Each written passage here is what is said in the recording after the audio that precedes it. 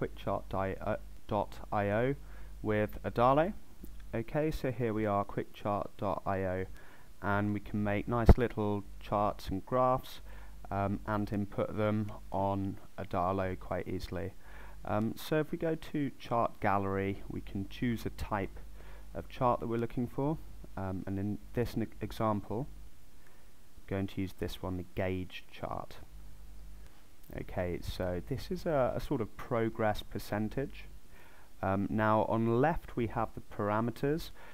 Um, for example, maybe I want to change this to um, this text to user progress.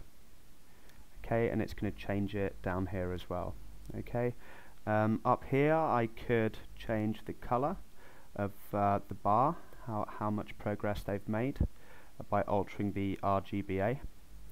Um, anyway, once you've had a play with that and you have it how you want it to be, you can come here and copy link address for the URL and head back over to your Adalo app.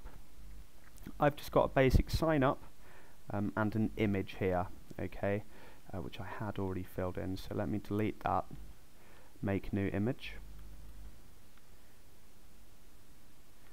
Insert that. You want URL and paste in that URL that we just got from QuickChart. Okay now it's quite a long URL um, but you can see it's inputted exactly um, how we just had it on the QuickChart website. Um, you can see it's on 12% now we do want to change that uh, to be dynamic. So on the database I made a field called percentage progress for each user. Um, so let's go back here. Um, and I'm going to use control F and find that 12 okay? And it's uh, it's here and also up here. So in both those places I'm going to put magic text percentage progress. Okay and again where are we? Down here.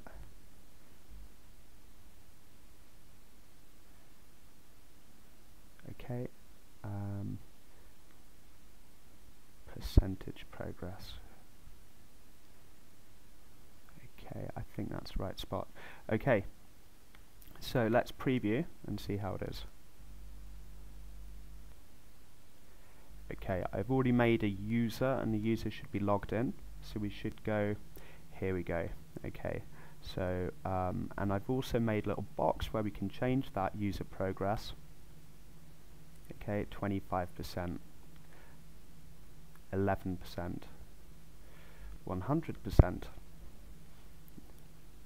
Okay, which uh, has an odd result, it would seem. But let's put 50%. Okay.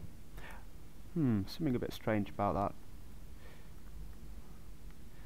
150. 250. I'm wondering what that goes up to. Okay, so there's there's obviously a maximum here that um, where are we? Um, 1288. Ah, okay.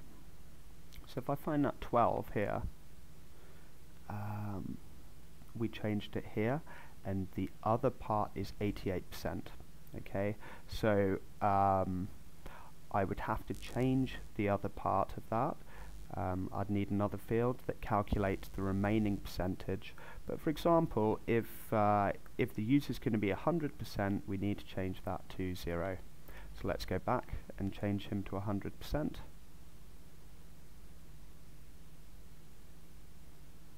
Okay, 100 and you're going to see, yeah, there's nothing there okay?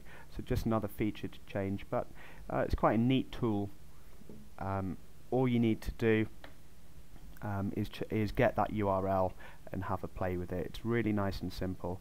Um, and I just added this here that updates um, the user percent progress input um, just so it's easy to have a look and a play with it. So I hope that's helpful anyway guys. Thanks very much